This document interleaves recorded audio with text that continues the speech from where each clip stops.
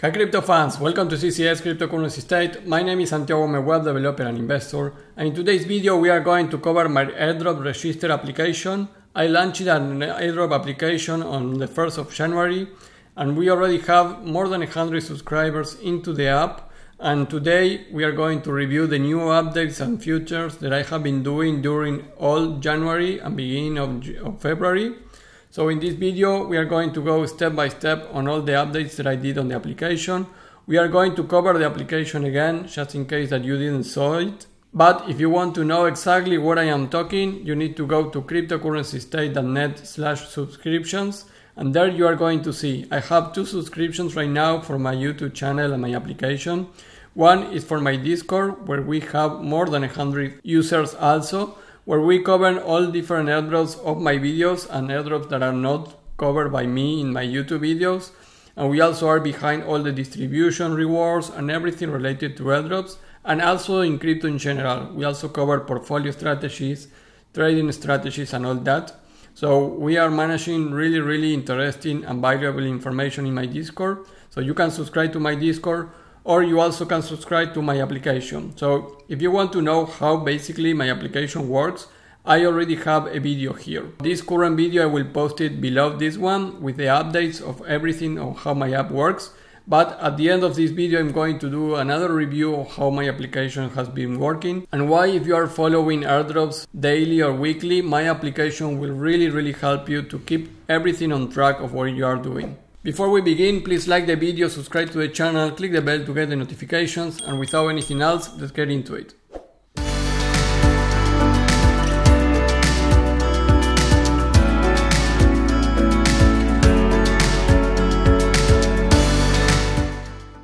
So guys, this video is primarily for my users of the application, but also for you that you are following this channel for a while and you are not sure if you want to enter into my Discord or use my application. This video also will help you to understand that.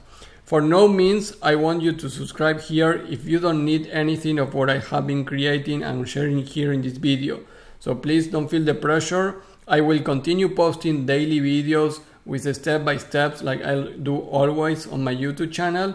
But this application, this Discord, if you want to move your, your game into the next level, you really need to do this.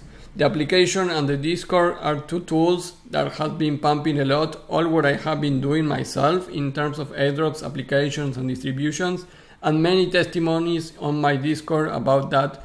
The people is really happy there. We have a lot of members there that know a lot about airdrops and the crypto space so I am really proud of what we are managing on the Discord. I'm really proud of my application. I have been working six months on this. I launched it the 1st of January of this year.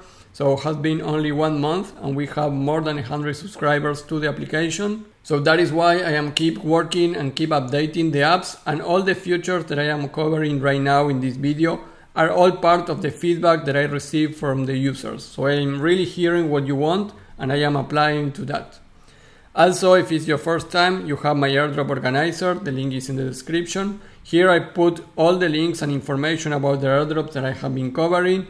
And when I have some airdrop distribution, I will mark it as red, so you don't need to do it if it's already late. So get into the airdrop organizer if you want to do all of my airdrops and videos. Here you have the step by step and my YouTube video to do it.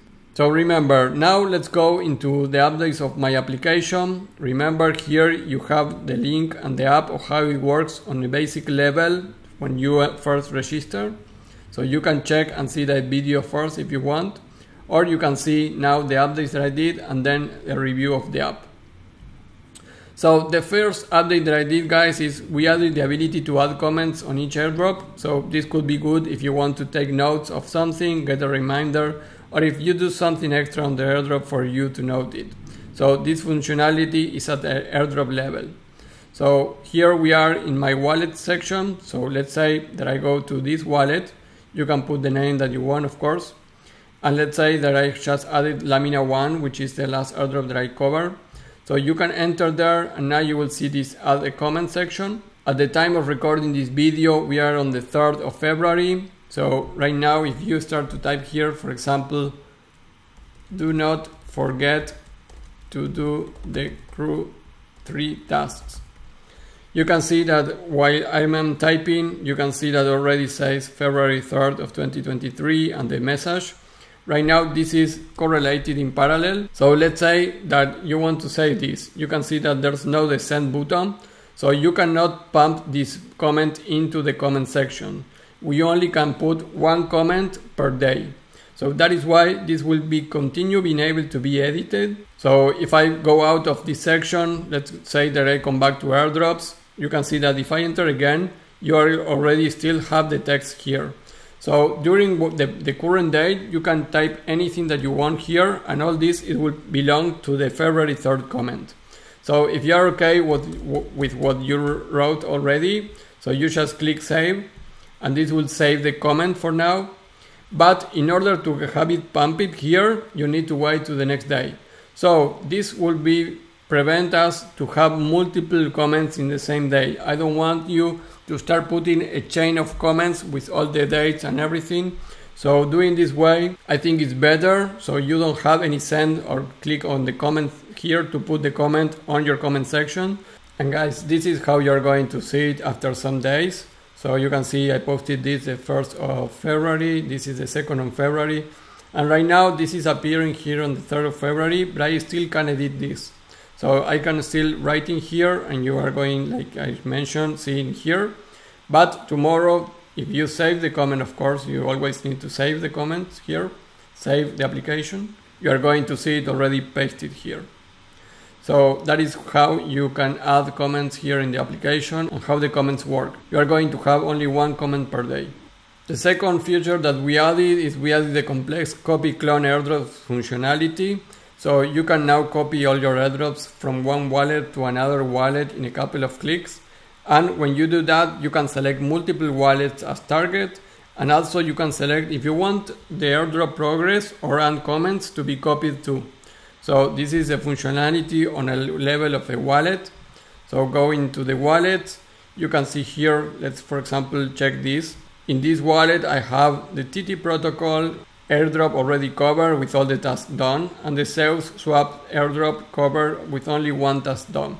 So let's copy these two airdrops with the progress and if they have any comments we are going to copy that into the other wallet. So go into wallets here you can see there's an icon of copy. So let's click the wallet that we want to copy. So click here. And here you have the list of all the airdrops that you have there. You can select one and select it or select multiple airdrops that you want to copy at once. And here you have your, your target wallet. So let's say that you want to copy these two uh, airdrops into this Santiago test wallet. Of course, you can put multiple target wallets like as I said. So this will help you a lot if you are using multiple wallets and you have like a main wallet where you did all your airdrops and you are doing the airdrops also in another wallet. You can just can copy this from one wallet to another and get all the information correctly. So let's copy only that and you can see that when I click this text box something changed in the comment there because of course Let's say that I want to transfer this with the activity. Without clicking this, all the airdrop picket will be entered imported into the wallet's picket.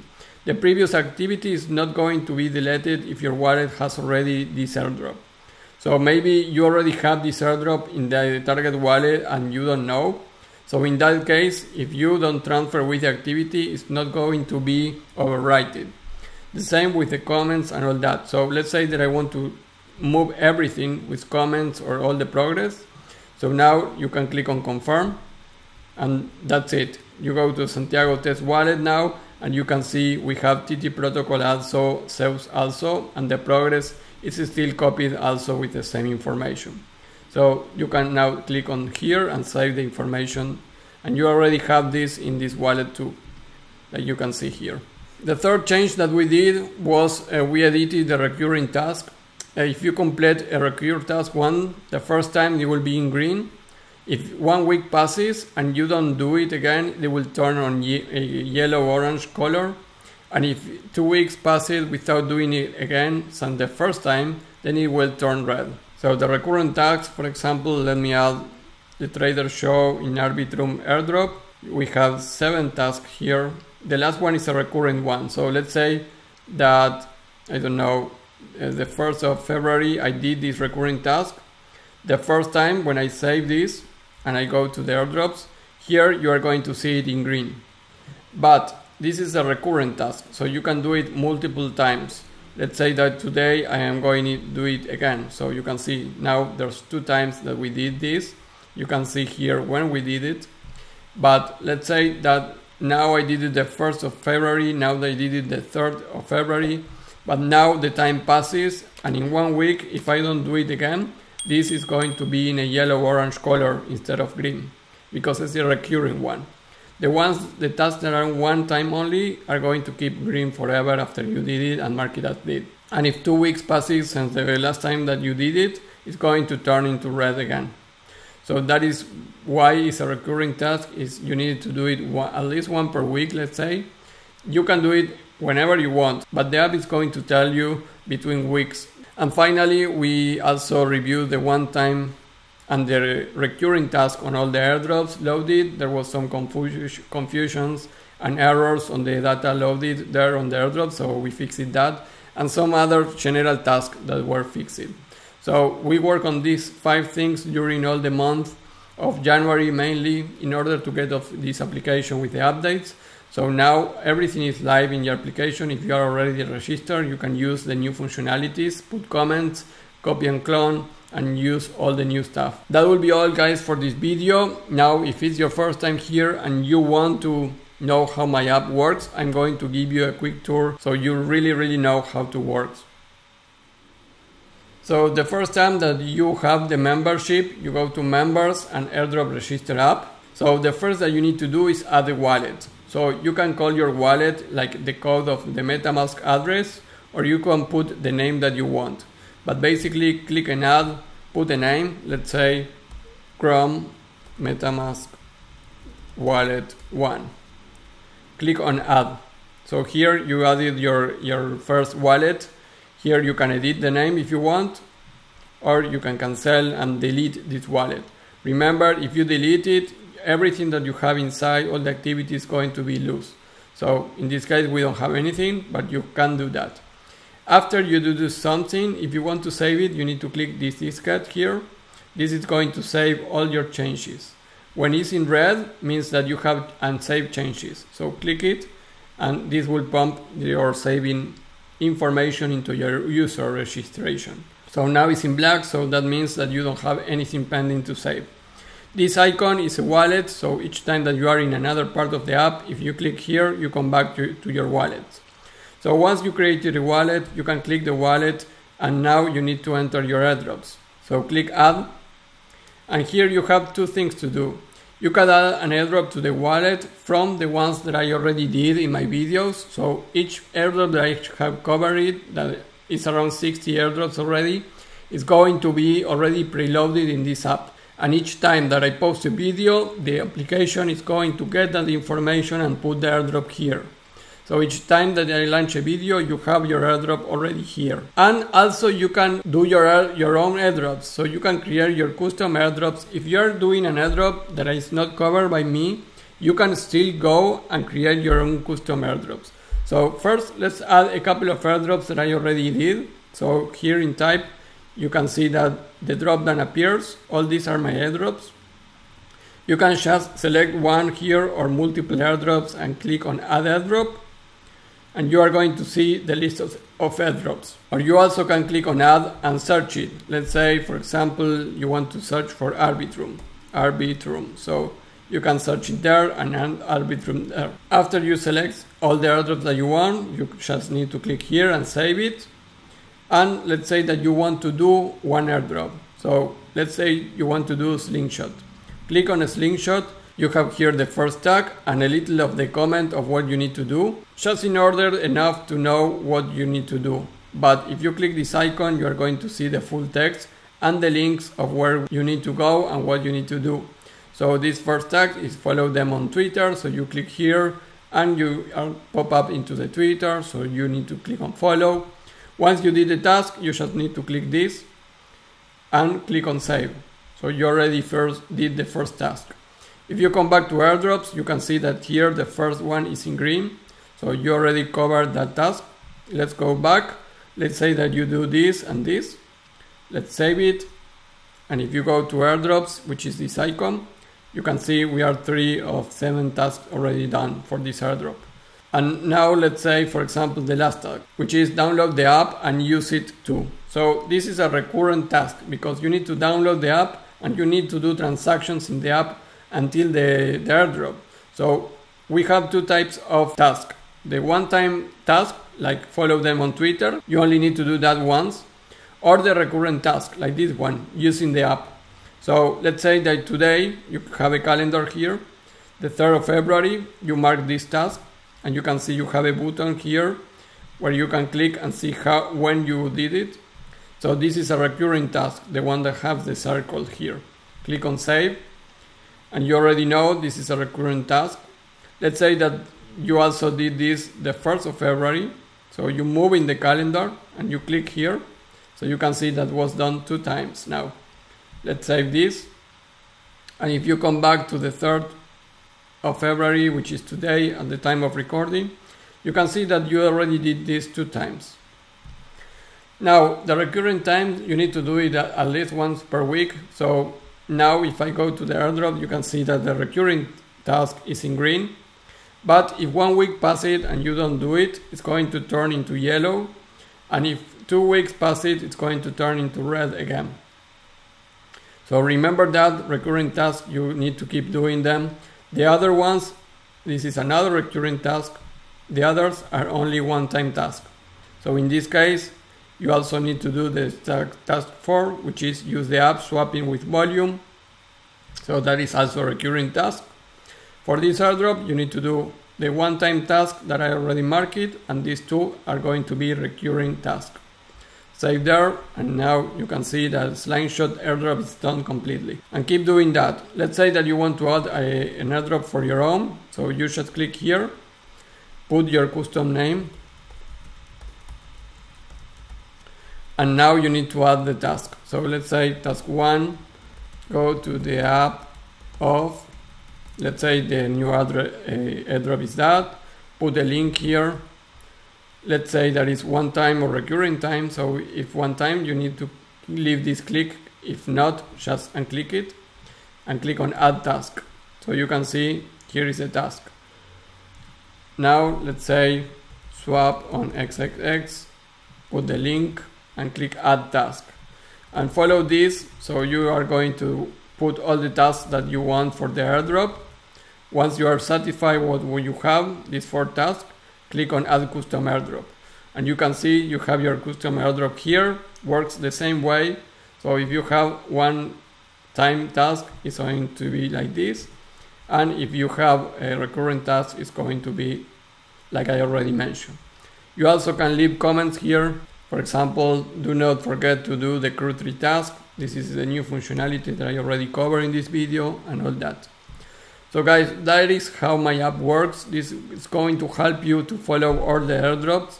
You can see in the airdrop organizer, I have 60 airdrops here. All of these airdrops are already loaded in my app. So you can go and do them there. And you are going to keep track of everything that you are doing here. And this is going to work you for multiple airdrops and multiple wallets. Right now, this is only one wallet but I can create a second wallet and I can also copy what I did here into the second wallet. So let's click here on copy. I will move all the airdrops that I did and I will transfer all the activity and comments of each airdrop. So I selected all the airdrops and my target wallet. So I click confirm and when I go to the second wallet you are going to see all is copied here with the progress that I did. So guys, that is how my app works. It's going to help you enormously to keep track of all the airdrops that you apply. Even if are mine of my YouTube channel or not, you can get your custom airdrops here too. So guys, that is all for the video. If it's your first time here, go to the subscription page. The link is in the description. Check how my app works. You already saw this. That will be all for the video. Follow me on Twitter at CryptoCState and like the video, subscribe to the channel, click the bell to get the notifications and I will see you in the next video. Bye.